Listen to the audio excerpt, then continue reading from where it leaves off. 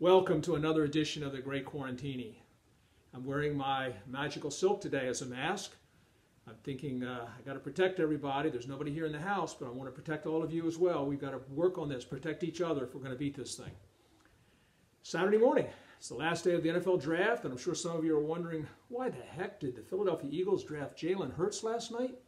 Do they need another quarterback when they have Carson Wentz? Probably not. But I have this feeling that Doug Pederson has some tricks up his sleeve. With a little smoke and mirrors, he's got some magic. We're going to see this fall with both Wentz and Hurts on the field. Well, if we can ever play football again. Meanwhile, what do I have for you today? I have a little potpourri of a few tricks to show you. No card tricks today. I have my magic wand. I haven't had to use this so far too much, but I'm going to need this today because I need some special power. I have a couple of coins a couple of Eisenhower silver dollars. Okay, and what I'm going to try to do is see if I can make them disappear right in front of your eyes, right? So let's bring over now one of my silks. Okay, kind of hard to show this all here, but I want to do a close-up so you can really watch it because that's what's important.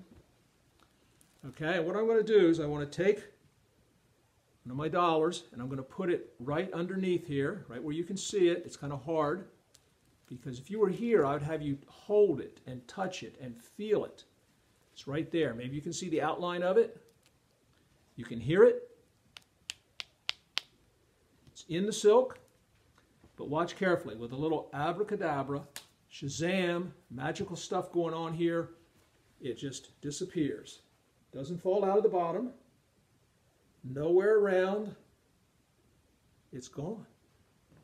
But wait, you say, I have another one. I do have another one here.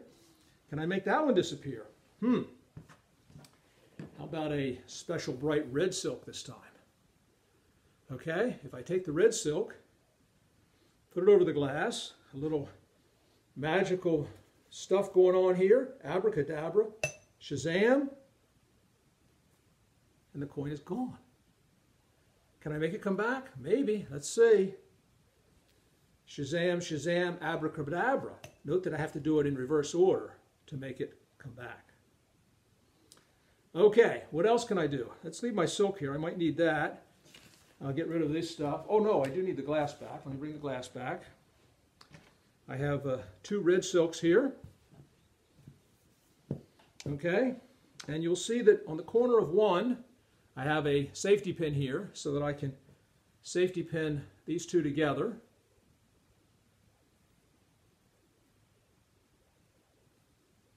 Okay. Can you see that now? The two, the two are now clipped together with a safety pin. Right? And now what I want to do is I want to see, can I do something with these? I'm going to put them in the glass. Some of you may say, seems like a waste of a wine glass, but at least it's red wine, right? Stuff it all in. As far as I can get it down there. Down, down, down, down, down, down into it there. And then I have a yellow silk. And the question is, can I put the yellow silk between the red silks? Well, let's see. First we got to take it and Squeeze, push it down into it really far. Okay, really far into the glass now. Yellow silk is gone. Where did it go? Let's see if we can find it. Yellow silk trapped between the two red silks. How about that? Okay? I hope you enjoyed my uh, tricks today with the Great Quarantini. Um, I will see you tomorrow.